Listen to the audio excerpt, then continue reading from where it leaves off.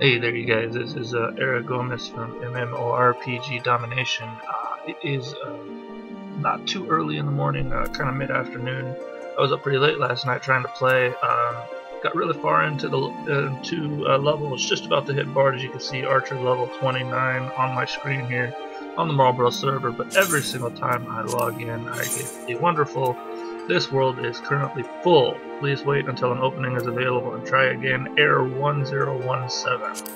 Now, I love this game, guys, and I am very, very happy with it, but this error is going to um, lose them a lot of business if they don't fix it soon. Um, you know, I'm, I'm a pretty calm and collective person for the most part, and I understand that launches have their issues, but this has been going on since beta, since open beta. From what I, um, since early beta, it was an open beta as well.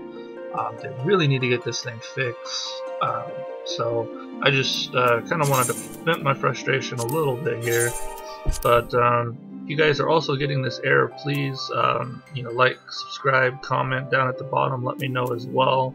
Um, maybe if enough people are starting to post these videos, then uh, they'll figure out that it's enough people that's actually causing a problem. Uh, I've been on the forums as well telling them about it, so um, go ahead and, uh, like I said, uh, put your comments in the bottom there, and I hope to see you guys in game soon. Hopefully I can get in as well, but uh, as it is right now, I just keep getting this error. So, um, yep, hope to see you guys in game soon. You guys have a good one.